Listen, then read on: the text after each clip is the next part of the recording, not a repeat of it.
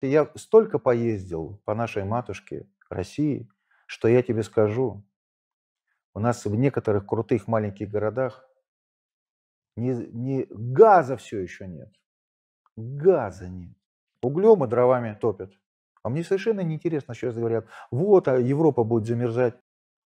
Мне ни тепло, ни холодно от этого. Что не замерзать будет? Ты нам поставь. Все, наши, наш народ подними. Все, газом, все, у нас газ, все вот так везде, всех протяни, чтобы под жопой у каждого газ был, и все-все. Вот тогда фирма, а потом уже что-то другое.